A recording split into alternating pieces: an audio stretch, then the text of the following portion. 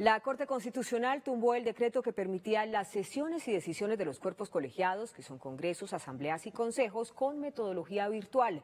Lo presencial tendrá que volver.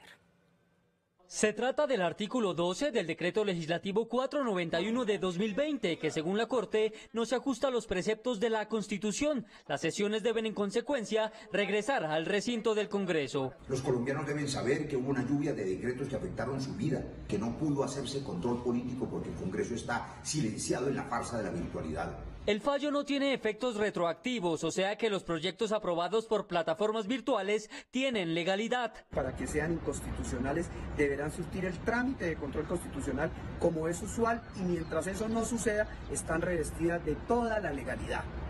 Entendemos que la Corte Constitucional lo que hace es decirle al Gobierno Nacional que no puede a través de un decreto modificar una ley orgánica. Sin embargo, el Congreso y las Cortes sí podrán ellas mismas decidir su forma de sesionar. Continuaremos trabajando de manera virtual si las mesas directivas del Congreso de la República así lo establecen. Y ahora la Corte le dice al presidente que no puede hacer eso, pero ella nos dice que tiene que ser presencial. Así las cosas, la próxima instalación del Congreso el 20 de julio sería presencial. Públicos.